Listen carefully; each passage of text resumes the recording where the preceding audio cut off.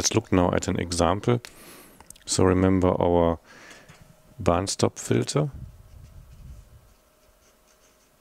Example.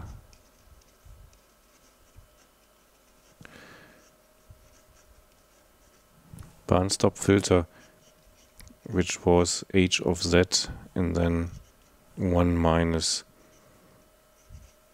2 cosine omega 0 z2 minus 1 plus z2 minus 2 then just divide it with 1 minus and then 2r cosine omega 0 z2 minus 1 plus r square z2 minus 2 so so now we have got these different coefficients here.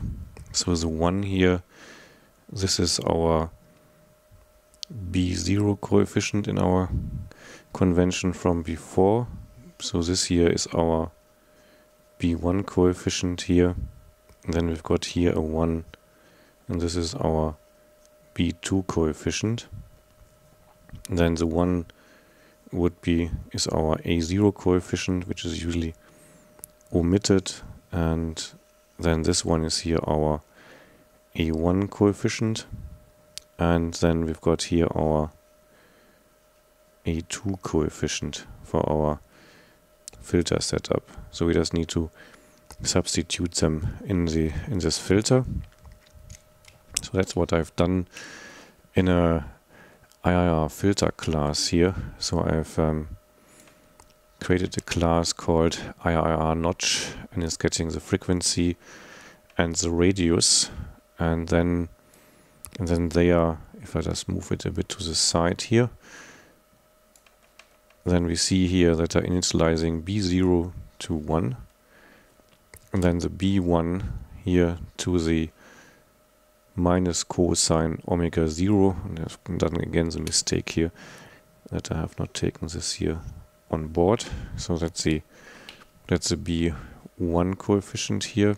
Then the b2 coefficient is here. That's 1 again then the a0 coefficient is 1 the a1 coefficient is this minus 2r cosine cosine omega 0 and the omega is here 2 pi f. And then the last term here a2 the r square. So I just do r multiplied by r here. So with that I initialize my coefficients here. What I also initialize is here the shift buffer these two here buffer 1 and buffer 2 and then what I do is I can send this directly through this filter operation what we discussed before. So as a demonstration, I've written a small program around this here, which is called IIR demo, which is doing nothing else than um, constructing this filter here. So our ECG file is again sampling rate 1 kilohertz, and we have a 50 hertz noise in this here. So we could just quickly have a look how this how the original looks like. Plot ECG 50 Hertz.tit and, and we plot this using the second column with lines and we bring this quickly to the screen. So that's the ECG which I used also in the FIR demo. So we've got here our 50 Hertz noise. In this ECG as before. And so we would like to get rid of that. And for this reason here so I've created this IR notch filter with with a normalized frequency of um, 50 hertz. So this normalized is here 50 divided by 1000 which is, which is the sampling rate. And then so let's just quickly write this here down that this becomes clear. So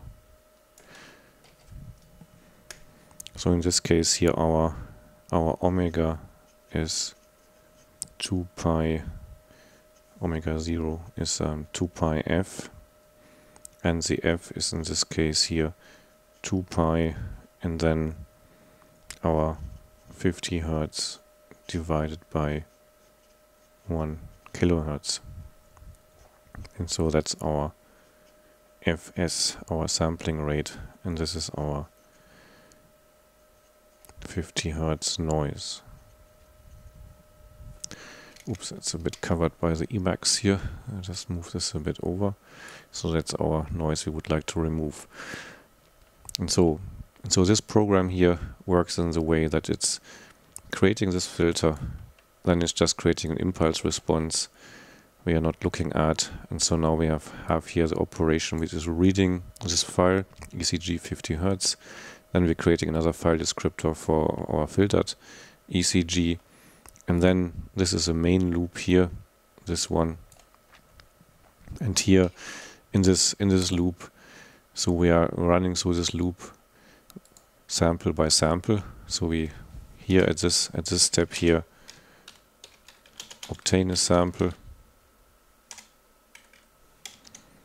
And then we just send this into our filter, filter the sample, and save the sample. Simple as that. So therefore, to see if this works, so I just need to need to run this program. So let's get rid of the Emacs for now and just do a make. So the make command here is generating us a file IIR demo.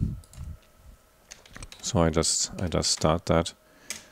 We see this is execution is more or less not visible. It is so fast. And now we should see here that there's a filtered ECG came out here, filtered ECG.dat. So we can plot that. Filtered ECG. And this should have only only one column as far as I know, yeah. And, and we plot this with lines.